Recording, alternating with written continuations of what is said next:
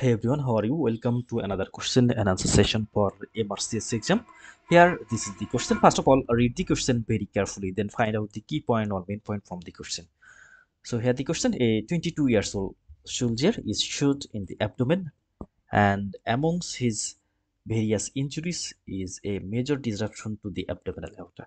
There is torrential hemorrhage and the surgeon decide to control the aorta by placement a vascular clamp immediately inferior to the diaphragm. Which of the following vessel may be injured during this maneuver? So from this question the key point here that a vascular clamp is placed immediately inferior to the diaphragm.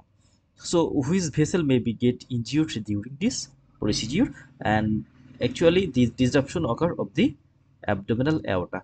So we have to find out a branch which is just below the diaphragm and supply the different structure. So here the options. So options are inferior phrenic arteries superior phrenic arteries splenic artery renal artery and superior mesenteric artery. So now let's see first of all the abdominal aorta and the different branch of the abdominal aorta. Actually the most upper branch of the abdominal aorta that, that may be get damaged during a vascular clamp just placed inferior to the diaphragm. And we know that the abdominal aorta is it starts at the level of the thoracic 12 vertebral level and it terminates at the level of the lumbar 4 vertebra by dividing into common iliac artery.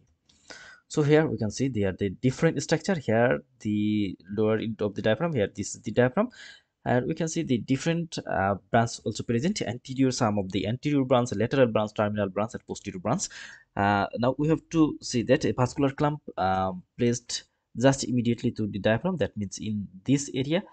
Uh, so we have to find out a the uh, artery. Here we can see this is the inferior phrenic artery which is the most superior branch and here we can see this is the celiac axis which lies a little bit below but the inferior phrenic artery it lies just below the diaphragm. So the inferior phrenic artery may be damaged during this procedure.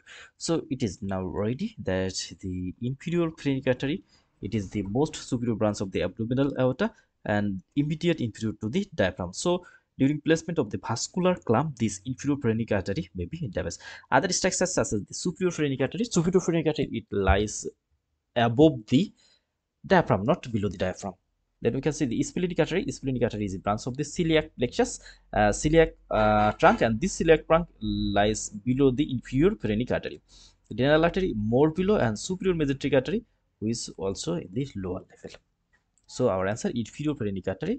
This artery may be damage during a vascular clamp just inferior to the diaphragm.